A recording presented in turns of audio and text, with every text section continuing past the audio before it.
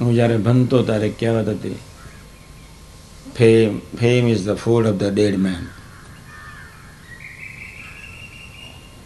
કીર્તિ એ મરેલા માણસનું ખોરાક છે. શું કરવાની કીર્તિ? Fame is the food of the dead man જીવતા માણસનો ખોરાક છે ભક્તિ, આત્મીયતા.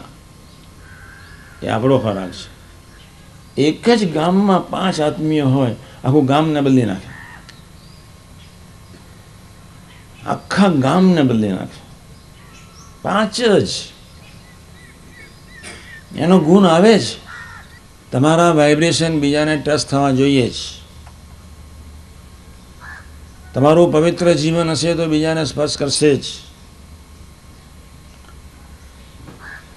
તમને જેને જોડે ન ફાવતો હોય, એના દાસાનો દાસ થવાની વાત કરે છે. એને કહે છે દંડવત કરો.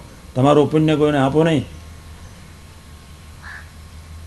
મંડળમાં એવું થતી છે, નથી ચલાવવાનો કે મને આની જોડે ફાવતું નથી આની જોડે ફાવે છે.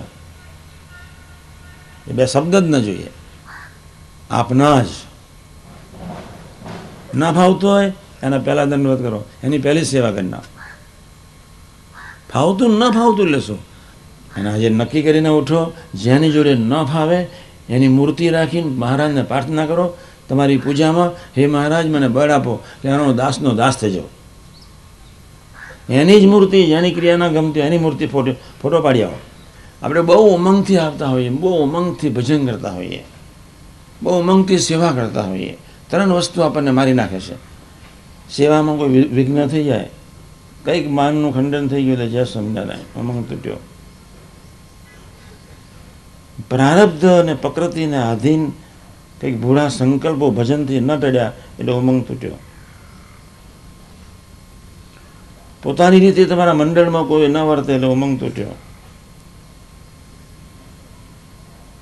પ્રાદેશિક સન સાથે સરળતા બુદ્ધિથી ન વર્તાય એટલે ઉમંગ તૂટ્યો. અંદર અંદર મંડળોમાં ભક્તોની ક્રિયાના દેખવાના પાપે કરીને ઉમંગ તૂટ્યો. આખી દુનિયાના દુનિયામાં બધાને ઉમંગ. આપણે સવાય ઉમંગ હોવો જોઈએ. આપણને ખબર જ ન પડવી જોઈએ કે ક્યારે ઊંઘીએ. એને ઉમંગ કહેવાય. દેહનો ભીડો ખબર જ ન પડે.